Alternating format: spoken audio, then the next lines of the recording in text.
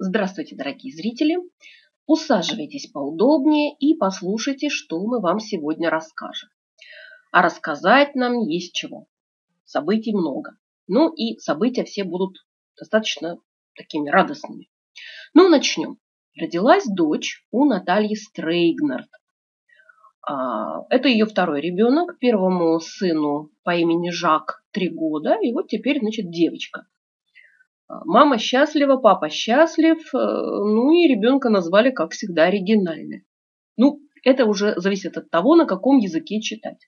Значит, или Гия, или Джия, или Хия. Ну, что мы можем сказать по этому поводу? Грустно, когда у родителей богатое воображение. Вот, когда, в принципе, хочется что-нибудь этакое для ребенка придумать, а непонятно, как потом этому ребенку с таким именем жить. Э, родился третий ребенок у Мишель Вьет. Это сын, которого назвали Кристиан.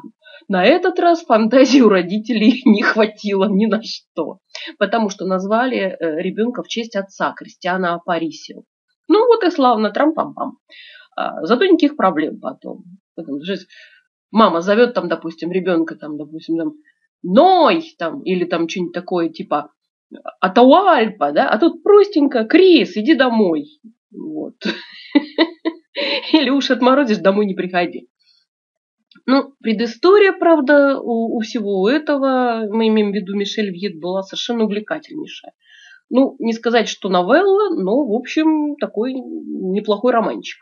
Так вот, после развода с мужем э, Леонардо Ампрудия, который проигрывал все семейные деньги и которого даже пришлось поместить в спецклинику, Мишель э, завела роман с Тореро.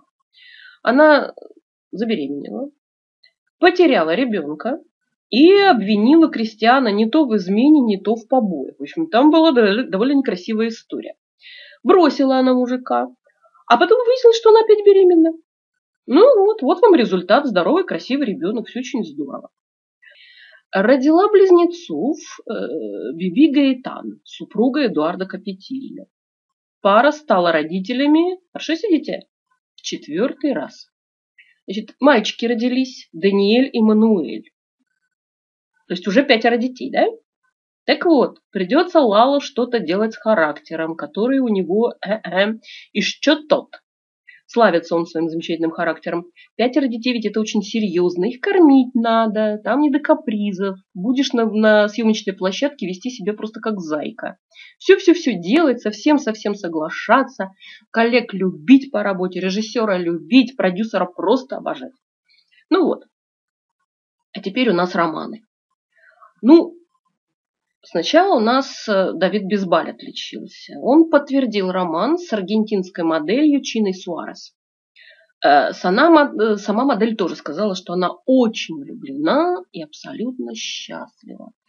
Ну, интересно, надолго ли Давида хватит, потому что совсем недавно примерно такие же тексты мы слышали от Зулейки Риверы. Все очень тоже было здорово, красиво, и она тоже у нас бывшая модель, и мисс мира, и все такое прочее. Ну, в общем, где-то месяц у них эти отношения продолжались, потом усё. Ну, будем посмотреть.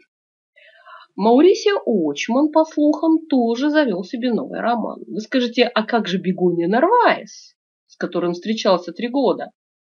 А никак. Прекратил он с ней отношения.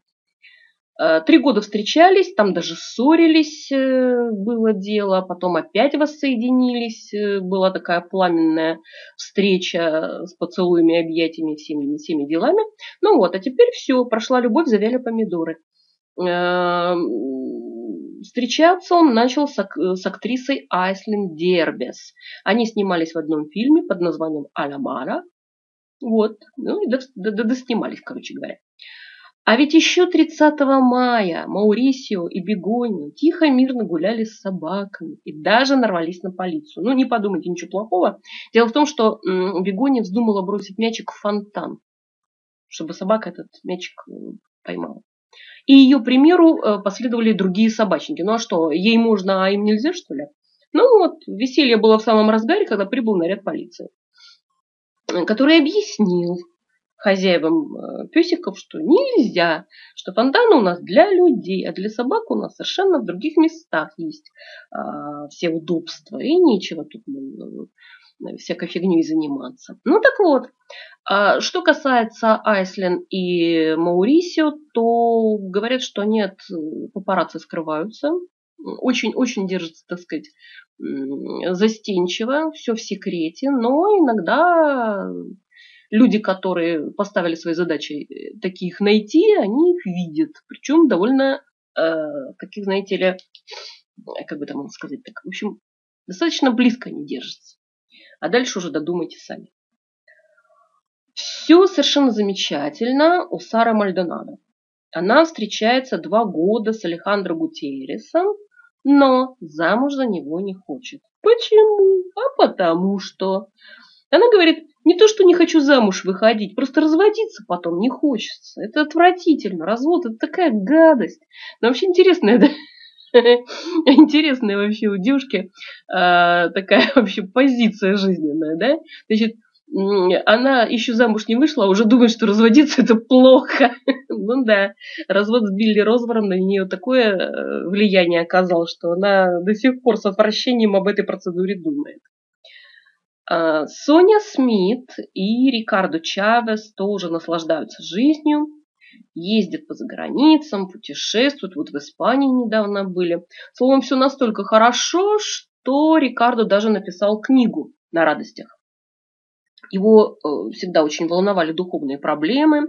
Он, э, в общем, всегда очень э, интересовался психологией. И вот он решил поделиться своим опытом. А опыт у него мощный. Он у нас отец-одиночка, у него трое детей. Вот. И вот он поделился этим опытом, как он детей этих воспитывал. Описал все трудности, которые перед ним стояли, как он эти трудности преодолевал. Ну вот, а теперь он говорит, что Соня это, в общем, подарок, подарок Божий, просто подарок с небес, еще можно сказать.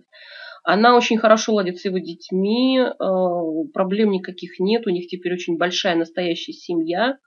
И они, в общем, даже реш... как бы решили не расставаться. Дело в том, что недавно Соня сказала, что она как бы прекращает с новеллами, потому что хочет посвятить себе семье. Посмотрим, как оно будет. Но, тем не менее, у них теперь настоящая большая семья с детьми, все как надо, все как полагается. Ну, возможно, именно это Соне и не хватало в предыдущем браке с Габриэлем Поросом. А, возможно, теперь у нее, в общем, действительно будет полная, такая насыщенная жизнь. Пожелаем ей счастья. Мы за нее очень рады. Она, на самом деле, очень симпатичная женщина, прекрасная актриса. Вот. На сегодня все. Подписывайтесь на наш канал. До свидания. А, да, кстати, в следующей программе, которая будет совсем а, через очень короткое время, у нас будут сплошные скандалы. Приготовьтесь. Мало не покажется. Это точно абсолютно. До свидания.